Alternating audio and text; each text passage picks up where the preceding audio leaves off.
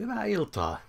One of my previous works is the ROM hack, a fan translation of Chrono Trigger, a famous JRPG by Square. One of the features that sets my translation apart from nearly every other fan translation in the world is its ability to conjugate names. English is a language where most of the grammar is accomplished by adding small extra words called prepositions. These prepositions have no meaning by themselves, but they express a relationship with respect to another word.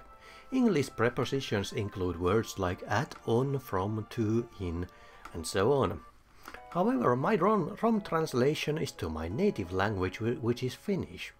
Finnish language does not really use prepositions. Instead, it uses a principle called conjugation. In conjugation, the word itself is treated as a malleable object that changes shape depending on the situation.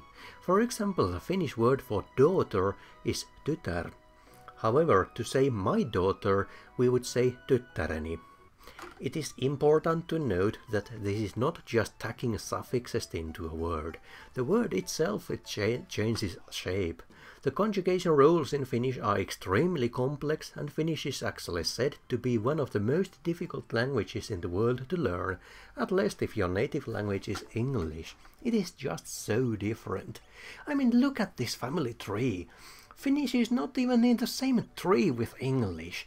Languages like Russian and Greek are closer to English than Finnish is. To be honest, there are other languages that have complex conjugation rules, but very few languages have as many grammatical cases as Finnish does. This poses significant challenges to computer software developers and localizers working with one of these languages. For example, in a video game you would typically have something, somewhere a message that says, says something like, you found one horn, you found one feather, you found one mop, you found one star sword. This is generally implemented by a pattern rule, where there is a blank slot for the name of the item, but the rest of the sentence is fixed. This approach works poorly in Finnish. If we translate the pattern literally, we get the following sentences. Löysit yksi sarvi, löysit yksi sulka, löysit yksi moppi, löysit yksi tähtimiekka. And this is just wrong. Anyone who knows Finnish can tell. In this kind of sentence, the item name should be conjugated in the accusative case.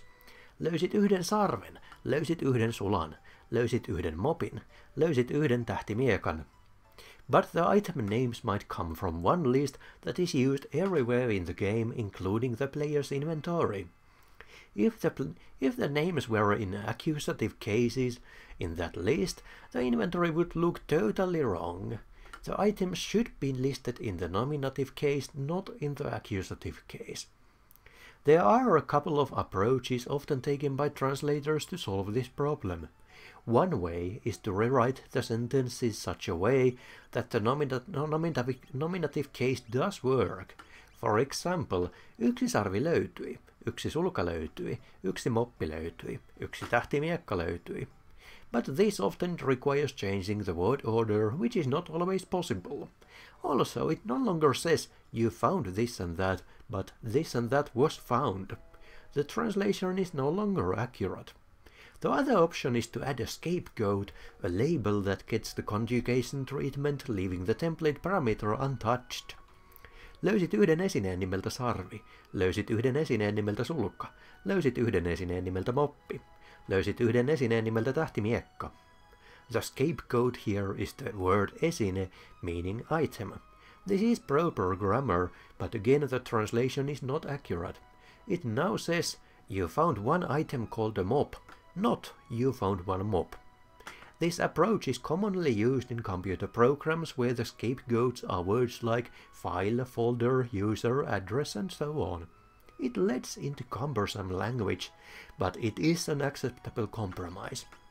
But in an RPG where you can change the player characters' names, none of this will work.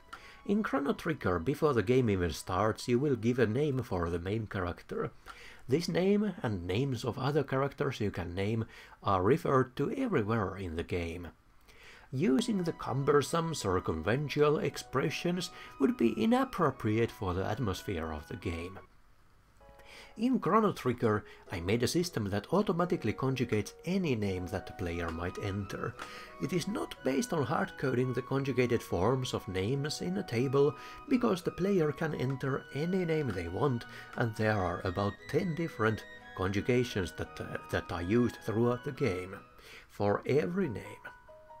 Instead, the conjugation rules were written in a special scripting language that I made for just that purpose. It is extremely limited and really only suited for rudimentary string operations.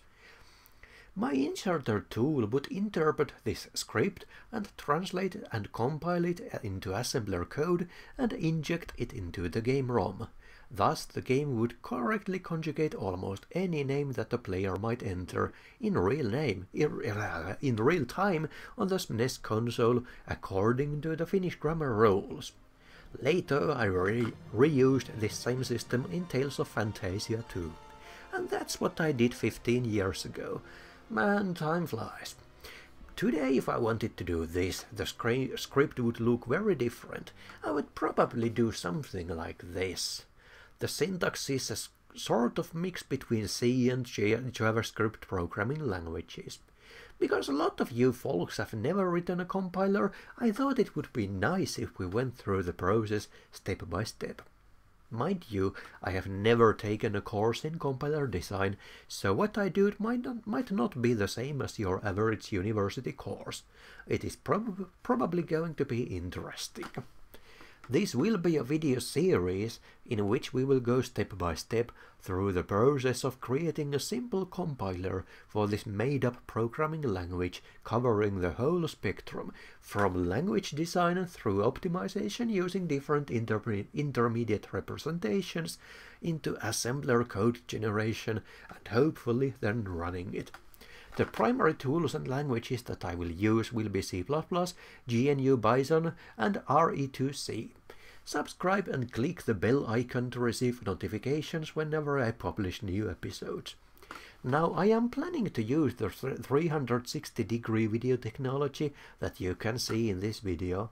You probably already realized it but on a desktop, desktop computer you can drag the camera around by holding the left mouse button and zoom using the scrolling wheel. Let me know in the video, video comments whether you like it or not. See you soon again.